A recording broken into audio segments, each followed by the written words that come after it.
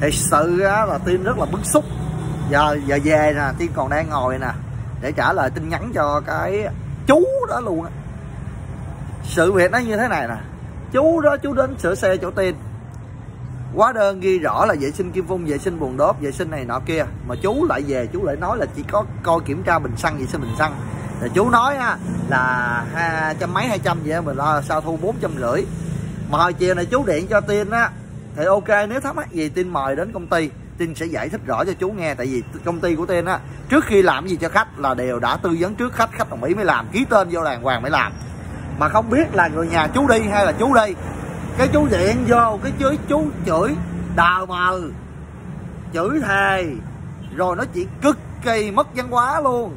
Không cho tin nói cái gì luôn, rồi cúp máy ngang giờ nhắn tin. Thiệt, cái gì cũng phải có cái giới hạn của nó, ha.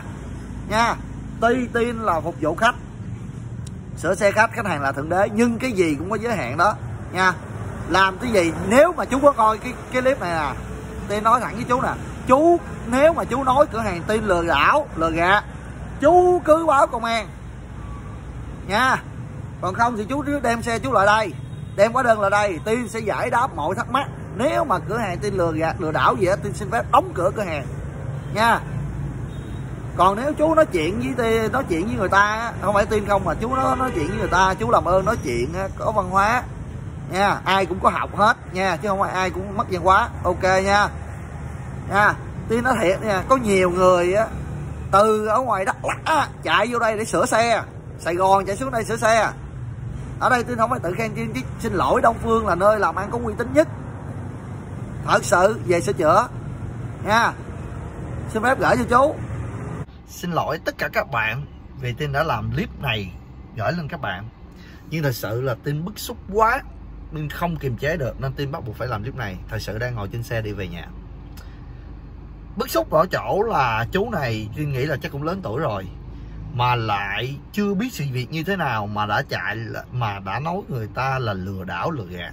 Ngoài ra nói chuyện cực kỳ không có văn hóa. Thông qua clip này tin chỉ gửi đến các bạn như thế này, tin không phải là dạy đời các bạn nha mà tôi chỉ gửi các bạn ba ba thứ các bạn cần lưu ý thứ nhất á, cho các bạn không nên nói thêm, nói bớt hay bất kỳ cái gì cả. Bất kỳ sự việc gì hỏi nó xảy ra thì các bạn nói cho nó đúng, đừng nói thêm, nói bớt. Ảnh hưởng tới uy tín của người ta. Uy tín của người ta tạo dựng rất là khó, mà các bạn chỉ cần nói thêm, nói bớt thôi là đã ảnh hưởng tới uy tín của người ta rồi. Cái thứ hai, cho dù bạn bức xúc ai, cho dù bạn thấy khó chịu vấn đề gì và bạn nên kìm nén và các bạn khi, kìm nén khi nói chuyện á, có nghĩa là sao? Các bạn nói chuyện nên có văn hóa. Không có ai mà sinh ra trên đời này để cho các bạn sinh ra sẵn, để cho các bạn đến, các bạn chửi, đào mờ người ta, cờ cờ người ta, hoặc nói chuyện không có văn hóa lên đầu của người ta. Người ta không có nợ các bạn không ai để ra trên đời này mà nợ các bạn để các bạn bức xúc ai, các bạn lại chửi trên đầu người ta như vậy. Cái đó là cái nghiệp đó. Và cái thứ ba, nha, sự việc gì xảy ra các bạn nên tìm hiểu kỹ sự việc, ha, nguyên nhân gì sao. Rồi các bạn hãy đổi lỗi cho người khác hoặc như thế nào. Các bạn chưa tìm hiểu, các bạn chưa gì hết. Mà như chú đó, chưa tìm hiểu, chưa gì hết. Chưa nghe ai giải thích, người ta chưa kịp giải thích. Mà chú đã làm rần rần lên chửi này chửi kia ha tin lưu ý tin chỉ gửi tới tâm của tin gửi đến các bạn ba điều đó thông qua sự việc này. Thật sự rất, rất là bức xúc. Đó giờ tin làm chưa bao giờ tin làm cái gì mà sai với lương tâm của mình trong việc kinh doanh Honda này nha. Chưa bao giờ làm cái gì sai với lương tâm của mình. Luôn luôn hỗ trợ anh em luôn luôn giúp đỡ anh em. Và thêm vào đó à, đừng nói là, là hỗ trợ anh em chi mà gì nó nó nó nó nó cụ thể. Mà là luôn luôn hỗ trợ khách hàng, luôn luôn giúp đỡ khách hàng.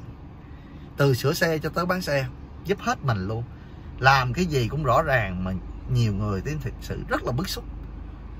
Không phải chúng tôi là người làm dịch vụ, chúng tôi là làm bán hàng hoặc là này nọ kia, mà chúng tôi phải chịu đựng.